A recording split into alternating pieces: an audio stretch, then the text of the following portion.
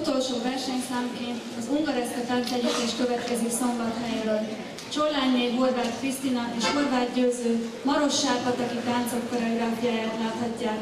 Művészeti vezető Horváth Győző, kísér a Bogja Népzenei Együttes. Fogadjátok őket szeretettel!